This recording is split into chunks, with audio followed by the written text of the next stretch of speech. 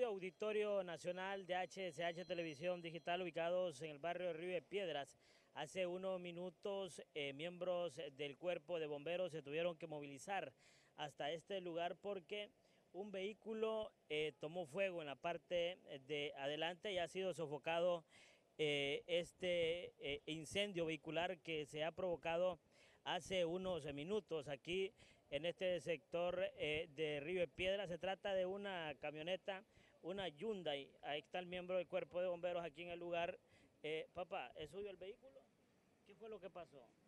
Ah, despu- después, Eh, capitán, eh, ¿ya está controlado el fuego acá, capitán? Sí, así es. Este, lo controlaron gracias a que los vecinos tenían una, una manguera de jardinería y lo controlaron. Nosotros lo- solo vinimos a hacer la, la supervisión de lo ocurrido.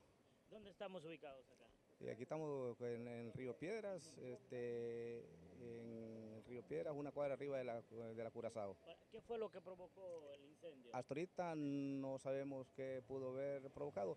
Ya los contactamos con los inspectores de la Oficina Técnica de Prevención y Seguridad contra Incendios, que ellos van a determinar cuál es la causa ahí. ¿Se está dando seguido este tipo de casos? Eh, Es correcto, ayer pasó- se dio un caso similar, igualito, igualito, siempre en la parte del motor.